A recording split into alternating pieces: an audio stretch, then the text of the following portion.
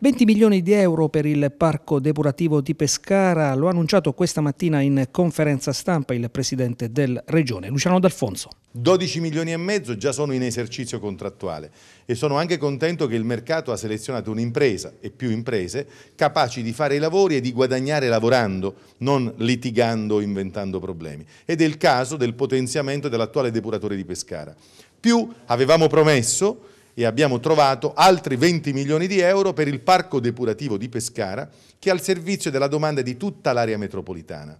Si creano strutture e vasche per ospitare l'acqua non usata, per esempio che derivi dal cielo, in maniera tale da non appesantire il depuratore di Pescara perché se ci va l'acqua che non deve essere lavata e depurata, quella struttura va in sofferenza, fa il troppo pieno è come un imbuto che poi fa fuoriuscire. Creando le vasche di prima accoglienza si consente al depuratore di fare il depuratore.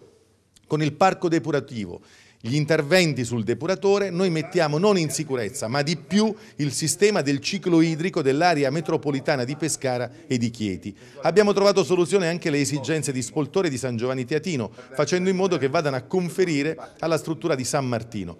Quello che andava fatto 20 anni fa, 15 anni fa, 10 anni fa, lo stiamo facendo adesso attraverso questa grande operazione. Ersi completa il progetto, ARAP appalta e il progetto sarà completato a fine dicembre, entro 60-70 giorni avremo il vincitore di questa gara per 20 milioni di euro e poi cominceranno i lavori. Come vedete tutto sta tornando in una rete che in questi 40 mesi è stata di grande fatica e di grande applicazione. Noi vorremmo che dagli spalti anche dell'opposizione, che è un mestiere importante per la democrazia, arrivassero suggerimenti e quando c'è ragione anche applausi.